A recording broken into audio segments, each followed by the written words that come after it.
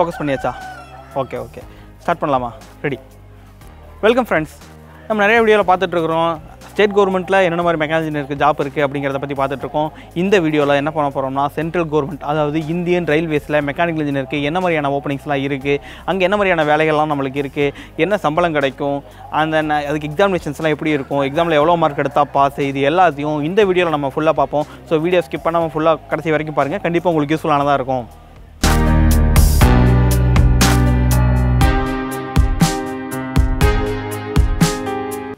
இப்போ ஒரு இந்தியன் ரயில்வேக்குள்ளே ஒரு மெக்கானிக்கல் இன்ஜினியர் உள்ளே போகணும் அப்படின்னா ரெண்டு ஆப்ஷன்ஸ் இருக்குது ஒன்று வந்து யூபிஎஸ்சி எக்ஸாம் மூலயமா போகலாம் உங்களுக்கு தெரிஞ்சிருக்கும். இன்னொன்று வந்து எல்லாருக்குமே தெரிஞ்சது தான் ஆர்ஆர்பி ரயில்வே ரெக்ரூட்மெண்ட் போர்டு இதில் வரக்கூடிய எக்ஸாம் எழுதி டேரெக்டாக நம்ம இந்த இந்தியன் ரயில்வேக்குள்ளே போக முடியும்.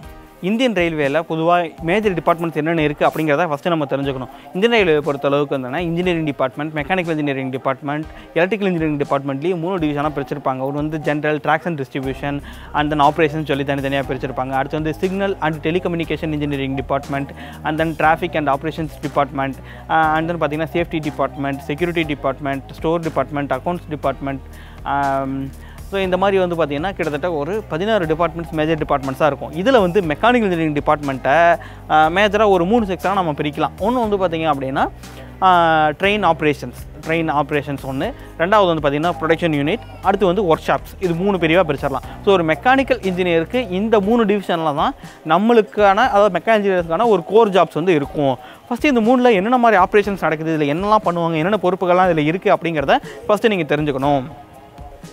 ட்ரெயின் ஆப்ரேஷன்ஸ் இந்த ட்ரெயின் ஆப்ரேஷன்ஸில் என்ன இருக்கும் அப்படின்னா டோட்டலாக வந்து பார்த்தீங்க அப்படின்னா இப்போ நம்ம ஊரில் பஸ் டிப்போலாம் இருக்கிறோன்னா ஒரு மேனேஜ்மெண்ட் ஒர்க்னா எந்த மாதிரி இருக்கும் அப்படின்னா பஸ்ஸில் எந்த இந்த பஸ் எந்த ரூட்டில் போகணும் இதுக்கு யார் கண்டக்டரு இந்த இந்த ஒர்க்கு ஷிஃப்ட் முடிஞ்சோடனே அடுத்த ஷிஃப்ட் யார் வருவா? அப்படிங்கிறதெல்லாம் பண்ணுறாங்க இல்லையா? இதே மேனேஜ்மெண்ட் ஒர்க்கை நம்ம ட்ரெயின்லேயும் பண்ணுவாங்க. என்ன பண்ணுவாங்க அப்படின்னா இந்த டிபார்ட்மெண்ட்டு ஸோ இந்த எத்தனை பேசஞ்சர்ஸுக்கு எத்தனை இது வைக்கணும்?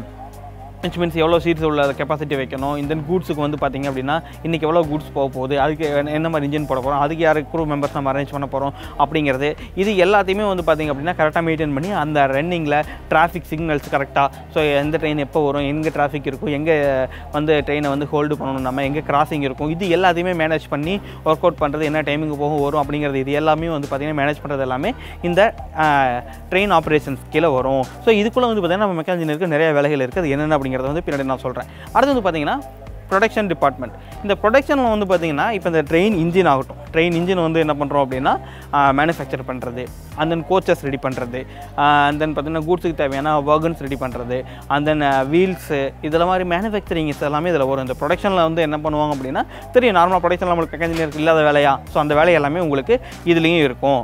ஸோ இதில் என்னென்ன வேலைகள்லாம் என்னென்ன போஸ்டிங்ஸ்லாம் இருக்குது அப்படிங்கிறத பின்னாடி பார்ப்போம். இதுக்கு அடுத்து வந்து ஒர்க் ஷாப் ஒர்க் ஷாப் அதே தான். ரிப்பேர் ஒர்க்ஸ் இந்த ரிப்பேர் ஒர்க்ஸில் என்னெல்லாம் இருக்கும் அப்படின்னா இப்போ இந்த இன்ஜின் ரிப்பேர் ஆகட்டும் இல்லை கோச்சஸில் வந்து பார்த்தீங்கன்னா வீல் ஏதாச்சும் ரிப்பேர் பண்ணணும் சர்வீஸ் பண்ணணும் அப்படின்னா எல்லாமே இதை பேஸ் பண்ணி தான் பண்ணுவாங்க. அந்த மாதிரி ரோலிங் ஸ்டாக்னு சொல்லுவாங்க. ரோலிங் ஸ்டாக்னா இப்போ இந்த வீல்ஸ் ஆகட்டும் பிரேக்ஸ் ஆகட்டும் இதெல்லாம் வந்து பார்த்திங்க அப்படின்னா எப்படி ஸ்டாக் வச்சுக்கிட்டே இருப்பாங்க.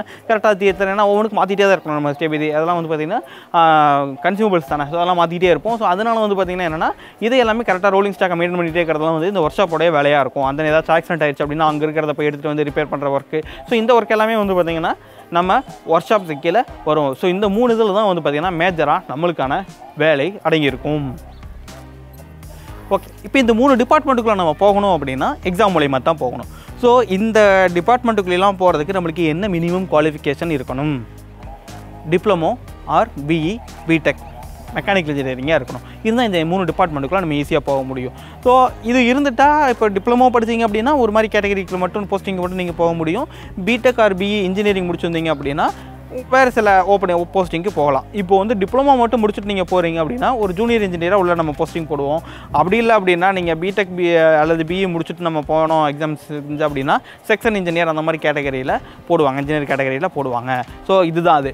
இப்போ உள்ளுக்குள்ளே போகணும் அப்படின்னா இந்த குவாலிஃபிகேஷன் இருக்கணும். அடுத்து ஏஜ் லிமிட் இந்த ஏஜ் லிமிட் வந்து பார்த்தீங்க அப்படின்னா கேட்டகரி வைஸாக பிரிச்சிருக்கிறாங்க. என்னென்னா ஜென்ரல் இப்போ ஜென்ரலாக இருக்கிறவங்களுக்கு வந்து பார்த்தீங்க அப்படின்னா உங்களுக்கு வந்து எயிட்டீன் மினிமம் மேக்ஸிமம் வந்து பார்த்தீங்க அப்படின்னா ஒரு முப்பத்தி மூணு தேர்ட்டி த்ரீ இயர்ஸ் முப்பத்தி மூணு வயசுக்குள்ளே அப்ளை பண்ணலாம். ஸோ பதினெட்டுலேருந்து முப்பத்தி மூணு வயசில் ஜென்ரல் அப்ளை பண்ணலாம். ஓபிசி ஓபிசியில் இருக்கிறவங்க வந்து பார்த்தீங்க அப்படின்னா பதினெட்டுலேருந்து முப்பத்தி ஆறு வயசு வரைக்கும் நீங்கள் அப்ளை பண்ண முடியும். எஸ்சி எஸ்டி கேட்டகரியில் இருக்கிறவங்க டோட்டலாக வந்து பார்த்தீங்கன்னா எயிட்டீன் இயர்ஸ் மினிமம்லேருந்து முப்பத்தி எட்டு வயசு வரைக்கும் இருக்கிறவங்க அப்ளை பண்ணலாம். இதில் வந்து பார்த்திங்கன்னா ஒரு சின்ன சின்ன லிபரேட்டர்ஸ் கொடுத்துருக்குறாங்க. பட் அது நான் சொல்லலை. பட் முப்பத்தெட்டு வயசு வரைக்கும் நீங்கள் எஸ்சிஎஸ்டி இருந்து அப்ளை பண்ணலாம். ஓபிசியாக இருந்துச்சு அப்படின்னா முப்பத்தி ஆறு வரைக்கும் அப்ளை பண்ணலாம். அதர் கேட்டகரி ஜென்ரல் கேட்டகரியில் இருக்கிறவங்களுக்கு வந்து பார்த்திங்க அப்படின்னா முப்பத்தி மூணு வரைக்கும் ஏத் கேட்டகரி கொடுத்துருக்காங்க ஸோ இந்த ஏத் கேட்டகரி இருக்கவங்கள்ட்ட அந்த இந்த குவாலிஃபிகேஷன் இருக்குது அப்படின்னா தாராளமாக நீங்கள் இந்த எக்ஸாமுக்கு அப்ளை பண்ணலாம். ஸோ இந்த எக்ஸாம் வந்து பார்த்திங்கன்னா என்ன அப்ளை பண்ணலாம். அப்படின்னா எக்ஸாமினேஷன் ஃபீஸ் அப்படின்லாம் எடுத்துக்கிட்டிங்க அப்படின்னா நார்மலாக வந்து எஸ்சி எஸ்டிக்கு வந்து பார்த்திங்க அப்படின்னா ஒரு டூ ஃபிஃப்டி த்ரீ ஹண்ட்ரட் அந்த ரேஞ்சுக்குள்ளே வரும். இது கொஞ்சம் கொஞ்சம் முன்ன பண்ண இருக்கும். எக்ஸாமினேஷன் ஃபீஸ் இயர்லி வைஸ் மாறுது அண்ட் தென் பார்த்தீங்கன்னா அதர் கேட்டகரி ஜென்ரல் கேட்டகரிக்கெலாம் வந்து பார்த்திங்க அப்படின்னா ஒரு five hundred rupees examination fees வரும். இந்த எக்ஸாமினேஷன் முழுக்க முழுக்க ஒரு ஆன்லைன் எக்ஸாமினேஷன் தான். இது வந்து பார்த்திங்கன்னா டோட்டலாக ஒன் ஃபிஃப்டி மார்க்ஸுக்கு வரும். இதில் வந்து என்னென்னா நெகட்டிவ் மார்க்ஸ் இருக்குது நெகட்டிவ் மார்க்ஸ்னால் வந்து பார்த்தீங்கன்னா ஒன் தேர்ட் மார்க் இப்போ ஒரு மார்க் கொடுக்குறாங்க அப்படின்னா ஒரு கொஸ்டினுக்கு அதில் ஒன் தேர்ட் மார்க் வந்து மைனஸ் மார்க் இருக்கும். ராங் ஆன்சர் இருந்துச்சு அப்படின்னா மைனஸ் மார்க் இருக்கும். இதில் என்ன சிலபஸ் என்ன தான் கேள்வி கேட்பாங்க அப்படின்னு பார்த்தீங்கன்னா இந்த எக்ஸாம் வந்து பார்த்தீங்க அப்படின்னா ஸ்டேஜ் ஒன் ஸ்டேஜ் டூன்னு ரெண்டாக பிரிச்சிருப்பாங்க. இந்த ஃபஸ்ட்டு எழுதக்கூடிய இந்த கம்ப்யூட்டரைஸ் ஆன்லைன் எக்ஸாமினேஷனு இந்த ஸ்டேஜ் ஒனில் என்னென்னலாம் கொஸ்டின்ஸ் வரும் எது எது பேஸ் பண்ணிலாம் வரும் அப்படிங்கிறத பார்த்துருவோம் அதாவது syllabus examination syllabus okay examination syllabus examination syllabus எடுத்துக்கிட்டிங்க அப்படின்னா ரெண்டு வீடியோ பிடிச்சிருப்பாங்க. ஸ்டேஜ் ஒன் ஸ்டேஜ் டூன்னு இந்த ஸ்டேஜ் ஒன்னில் வந்து பார்த்திங்க அப்படின்னா general awareness and then general science general intelligence and problem solving இருக்கும். அண்ட் தென் மேத்தமெட்டிக்ஸ் இதனால தான் ஜென் ஸ்டேஜ் ஒன்றில் இருக்கும். ஸ்டேஜ் டூ வந்து பார்த்திங்க அப்படின்னா general awareness and then physics and chemistry basics computer knowledge and application இருக்கும். அண்ட் தென் பார்த்தீங்கன்னா basic environment and pollution control இருந்து கேட்டிருப்பாங்க.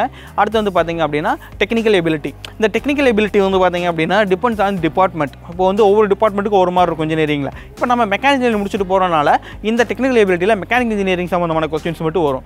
அதில் மேஜராக என்னென்ன சப்ஜெக்ட்லாம் கவர் பண்ணுறாங்கன்னா கிட்டத்தட்ட நம்ம இன்ஜினியரிங் படித்த எல்லா சப்ஜெக்ட்டுமே இதில் கவர் பண்ணுறாங்க அதில் மேஜராக வந்து thermodynamics and then heat transfers strength of materials fluid mechanics and then machines and machining tools elements metallurgy so இந்த மாதிரி வந்து பார்த்தீங்கன்னா கிட்டத்தட்ட நம்ம படித்த எல்லா சப்ஜெக்ட்டுமே இதில் வந்து பார்த்தீங்கன்னா உள்ளே இன்க்ளூட் ஆகுது. ஸோ இந்த எக்ஸாமினேஷன் பொறுத்த அளவுக்கு ஒரு ஆவரேஜ் அண்ட் பிலோ ஆவரேஜ் ஸ்டூடெண்ட்ஸ்க்கு கொஞ்சம் டஃப்பானதாக இருக்கலாம். ஸோ அதனால் நீங்களாம் ட்ரை பண்ணுறீங்க இந்த எக்ஸாம் ட்ரை பண்ணுறீங்க அப்படின்னா கொஞ்சம் முழு மூச்சோட கொஞ்சம் உங்களுடைய ஃபுல் எஃபர்ட்டை போட்டு நீங்கள் ட்ரை பண்ணிங்கன்னா தான் இது எக்ஸாமினேஷனை நீங்கள் ஈஸியாக கிளியர் பண்ண முடியும். ஓகே ஸோ இந்த எக்ஸாமினேஷன் வந்து பார்த்தீங்க அப்படின்னா மீதி கொஞ்சம் கிளியர் பண்ணியாச்சு. ஓகே எவ்வளோ மார்க் எடுத்தால் பாஸ் ஸோ இதுலேயும் வந்து பார்த்தீங்கன்னா கேட்டகரி வைஸாக தான் பிரித்து வச்சுருக்காங்க. ஸோ கேட்டகரி வைஸ் வந்து பார்த்தீங்க அப்படின்னா அதாவது ஜென்ரலாக இருக்கிறவங்களுக்கு வந்து பார்த்தீங்கன்னா ஃபார்ட்டி பர்சன்டேஜ் இதில் மார்க் எடுத்திருந்தா தான் பாஸ் அண்ட் தென் பார்த்திங்க அப்படின்னா எஸ்சி அண்ட் ஓபிசி இருக்கிறவங்களுக்கு வந்து பார்த்தீங்கன்னா தேர்ட்டி பர்சன்டேஜ் மார்க் எடுத்தால் பாஸ் எஸ்டி கேட்டகரியில் இருக்கிறவங்க வந்து பார்த்தீங்கன்னா twenty five twenty five percentage mark எடுத்தால் பாஸ் அப்படின்னு சொல்லியிருக்காங்க. ஓகே இப்போ நம்ம வந்து எக்ஸாம் எழுதியாச்சு பாஸ் பண்ணியாச்சு. வாட் நெக்ஸ்ட் அதுக்கப்புறமா வைவாக இருக்கும் உங்களுக்கு. ஸோ இந்த வைவா முடிச்சதுக்கு அப்புறமா உங்களுக்கு சர்டிஃபிகேட் வெரிஃபிகேஷன் ஜென்ரலாக கவர்மெண்ட் ஜாப்னாவே தெரியும். சர்டிஃபிகேட் வெரிஃபிகேஷன்ஸ் இருக்கும். ஸோ சர்டிஃபிகேட் வெரிஃபிகேஷன் இருக்கும். சர்டிஃபிகேட் வெரிஃபிகேஷன் முடிஞ்ச உடனே அடுத்து வந்து பார்த்தீங்கன்னா medical fitness so medical fitness ரொம்ப ரொம்ப இம்பார்ட்டன்ட் இதில் கண்டிப்பாக மெடிக்கல் ஃபிட் இருந்தால் மட்டும் தான் நம்ம உள்ள என்ட்ரு ஆக முடியும். ஸோ மெடிக்கல் மெடிக்கல் ஃபிட்னஸ் வரும். இது முடிச்சதுக்கப்புறமா உங்களுக்கு வந்து பார்த்தீங்கன்னா டேரெக்டாக ட்ரைனிங் கொடுப்பாங்க. ஏன்னா இப்போ நம்ம சொன்ன இந்த டிபார்ட்மெண்ட் மூணு டிபார்ட்மெண்ட்டுக்குள்ள உங்களுக்கு சொன்னோம் இல்லைங்களா?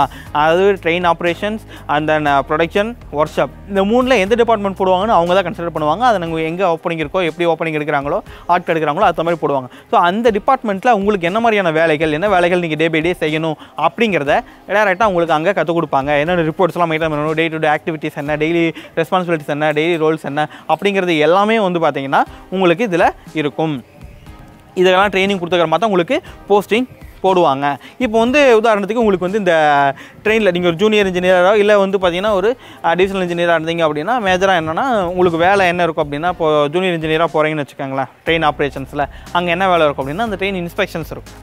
ட்ரெயின் கிளம்புறதுக்கு முன்னாடி எல்லா வீல்ஸும் கரெக்டாக இருக்கா பிரேக்கெல்லாம் கரெக்டாக என்கேஜ் ஆகுதா? எல்லா வேலை அலாரம்லாம் கரெக்டாக ஒர்க் ஆகுதா? அப்படிங்கிறது எல்லாமே செக் பண்ணி உங்களுக்கு லேபர்ஸ் இருப்பாங்க ஸோ அவங்கள கூட கோஆர்டினேட் பண்ணி நீங்கள் வந்து செக் பண்ணி ரிப்போர்ட் நீங்கள் சப்மிட் பண்ணணும் டே பை டே ஸோ இந்த ஒர்க் இருக்குது உங்களுக்கு. அடுத்து நீங்கள் ப்ரொடக்ஷன் டிபார்ட்மெண்ட் தான் தெரியும் உங்களுக்கு. ரா மெட்டீரியல் இன்ஸ்பெக்ஷனில் இருந்து அந்த சூப்பர்வைசிங் இருக்கும் குவாலிட்டி டிபார்ட்மெண்ட் இருக்கும் ஆர்என்டி இருக்கும் இது எல்லாமே ப்ரொடக்ஷன் டிபார்ட்மெண்ட்டில் இருக்கும். இதில் எங்கே வேணாலும் உங்களுக்கு வேலை போடலாம். ஒர்க் ஷாப்ஸும் சேம் ப்ரொடக்ஷனில் என்ன ஒர்க் இருக்கோ அதே ஒர்க் தான். ஸோ இதில் வந்து நீங்கள் டிகிரி முடிச்சுட்டு போகும்போது வந்து பார்த்தீங்கன்னா உங்களுக்கு செக்ஷன் இன்ஜினியர் அந்த மாதிரி போடும்போது போட்டாங்க அப்படின்னா இவங்க எல்லாம் கொஞ்சம் மேனேஜ் பண்ணுறதுக்கு இன்னொரு ஸ்டெப் மேலே வந்து உங்களுக்கு போஸ்டிங் கிடைக்கும்.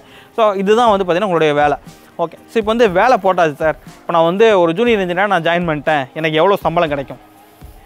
சேலரி சம்பளம் வந்து பார்த்தீங்க அப்படின்னா உங்களுக்கு ஸ்டார்டிங்கில் ஒரு தேர்ட்டி டு தேர்ட்டி ஃபைவ் வரை கிடைக்கும் ஜூனியர் இன்ஜினியர் அல்லது நீங்கள் செக்ஷன் இன்ஜினியராக நீங்கள் போகிறீங்க அப்படின்னா உங்களுக்கு வந்து பார்த்தீங்கன்னா ஒரு ஃபார்ட்டி டு ஃபிஃப்டி நான் சொல்கிறதெல்லாம் மினிமம் சேலரி தான். சரிங்களா? இந்த சேலரி மட்டும் நீங்கள் கன்சிடர் பண்ணிட்டு போகலாம் இதுவே போதுமானதாக இருக்கு ஏன்னா ஒரு ஃப்ரெஷராக உங்களுக்கு இந்த ஜாப் கிடச்சி அப்படின்னா ஏன்னா central government job railway job so உங்களுக்கு வந்து லைஃப் செட்டில் ஆகிடுது இது எல்லாமே எக்ஸ்ட்ரா பெர்க்ஸ் அலவன்ஸ் அதெல்லாம் வேறு லெவல் எப்போவுமே கவர்மெண்ட் ஜாப்னாவே அதெல்லாம் தனி. ஸோ அதனால் உங்களுக்கு பேசிக்காகவே உங்களுக்கு இந்த சேலரி கிடைக்கும் அப்படிங்கிறப்ப நீங்கள் தாராளமாக இதுக்கு ட்ரை பண்ணலாம். ஸோ ஃபுல் எஃபோர்ட்டும் நீங்கள் போட்டு நீங்கள் இந்த ஜாப்க்கு நீங்கள் ட்ரை பண்ணுறீங்க அப்படின்னா கண்டிப்பாக உங்களுக்கு இதில் ஜாப் கிடைக்கும் வேலை கண்டிப்பாக கிடைக்கும். இப்போ எந்தெந்த ஊரில் எல்லாம் கிடைக்கும்? இது எங்கெல்லாம் எப்படிலாம் அப்ளை பண்ணுறது அப்படின்னா நீங்கள் ஆன்லைனில் ஆர்ஆர்பி வெப்சைட்டே இருக்குது அந்த வெப்சைட்டில் டேராக போயிட்டு நோட்டிஃபிகேஷன் செக் பண்ணிட்டே இருக்கணும். எப்போ நோட்டிஃபிகேஷன் கரெக்டாக ஜாப்புக்கு போடுறாங்களோ அதுக்கு நம்ம டேரெக்டாகவே ஆன்லைனில் அப்ளை பண்ணிடலாம். ஸோ இந்த நோட்டிஃபிகேஷன்ஸ் நீங்கள் முடிஞ்சால் டேரெக்டாக அப்போ போய் செக் பண்ணுங்கள் அப்படி இல்லை அப்படின்னா கீழே டெலகிராமில் டெலகிராம் லிங்க் கொடுத்துருக்கோம் குரூப் லிங்க்கு இந்த குரூப்பில் ஜாயின் பண்ணுங்கள் இதில் நாட் ஓன்லி கவர்மெண்ட் ஜாப் ஜென்ரலாக மெக்கானிக்கல் தேவையான ஜாப் போஸ்டிங்ஸும் நம்ம இதில் போடுவோம். இப்போ லாக்டவுனுங்கிறனால அதிகமாக போட முடியல.